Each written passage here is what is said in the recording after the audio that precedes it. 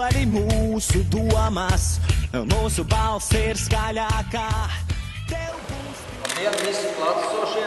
Nu, tā presa konferences mums tādā pareizā vietā, izvietot zālē.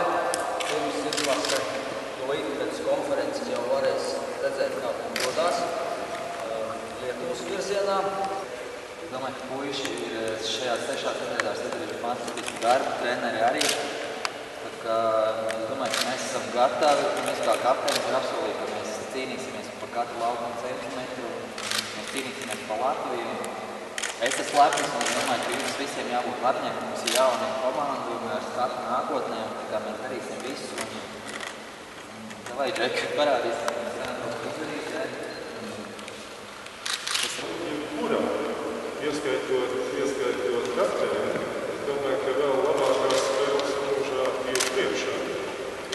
kāpēc gan pirms nerādīt, nerādīt šaubos? Un, un tagad domāju, ka jābūt visam kārtībā. pakrist. Mēs augšā ceļamies,